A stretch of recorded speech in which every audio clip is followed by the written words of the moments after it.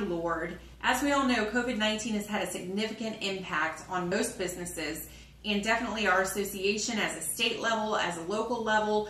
Volunteerism that normally took place got sidestepped there for a little bit. But in a time when food pantries were at an all time low due to rising unemployment rates, children being out of school and missing out on those free and reduced lunches, our committee members took initiative and said we need to step up and we need to do more. As a committee, we pushed our members to aid us in a food drive, and what we got was so much more. We actually had Realtor and affiliate members approach us and ask us to turn this food drive into a contest. With this food drive contest, we were able to raise $5,000 and well over a thousand pounds in food in just the first month. Not one, not two, but three counties are recipients of these funds. We have multiple affiliates that have also agreed to provide additional monetary support through the remainder of the summer.